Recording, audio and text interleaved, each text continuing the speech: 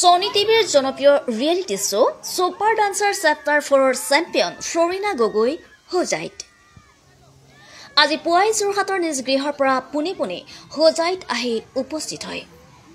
ঝাংকাৰ dance ষ্টুডিঅ'ই আয়োজন কৰা তিনিদিনীয়া নৃত্য কৰ্মশালাত অংশগ্ৰহণ কৰে ফ্লৰিনা গগৈ পিতৃ মাতৃক লগত লৈ হোজাইত উপস্থিত ফ্লৰিনা গগৈ।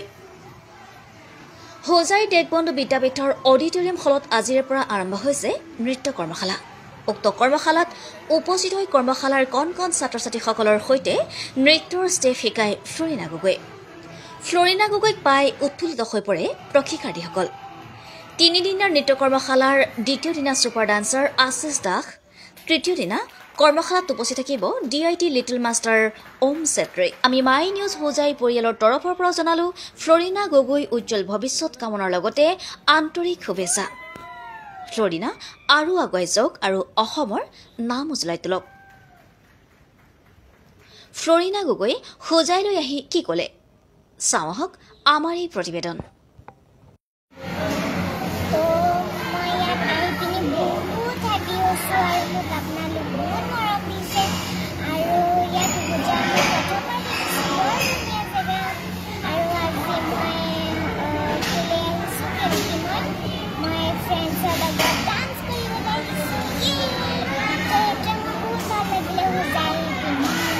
ক'ত ক'ত ফুৰিব যাবা হোজাই ক'তবা ফুৰিব যাবানে?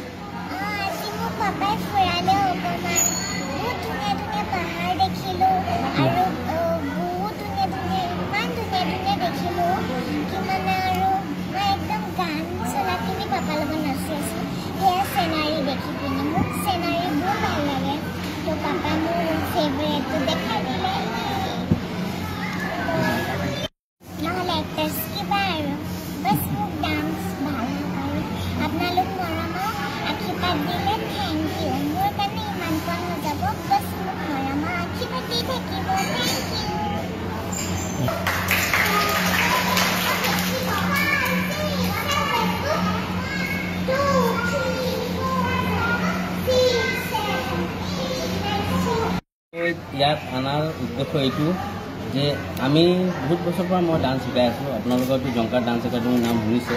আমাৰ অসমৰ বিভিন্ন ঠাইত আমাৰ ক্লাছ আছে।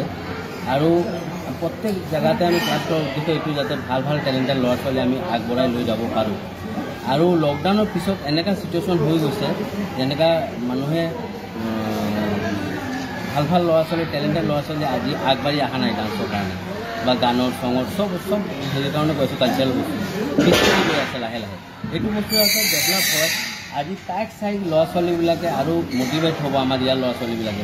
কালি হয়তো ভৱিষ্যতে তাৰ তাৰ নিচিনা আৰু এটা ল'ৰা ছোৱালী আমাৰ ইয়াৰ পৰা ওলাব পাৰে। আৰু তাক অনাৰ উদ্দেশ্য এইটোৱেই যে তাক চাই তাৰ সি কেনেকুৱা ৰিয়েলিটি শ্ব'ত গৈছে আৰু এই ৰিয়েলিটি শ্ব'ৰ কেনেকুৱা কৰিলে কেনেকুৱা প্ৰেক্টিচ কৰিলে কি কৰিলে ৰিয়েলিটি শ্ব'ত যাব পাৰে বহুতখিনি বস্তু বহুতখিনি বস্তু জানিব পাৰিব তাৰ পৰা।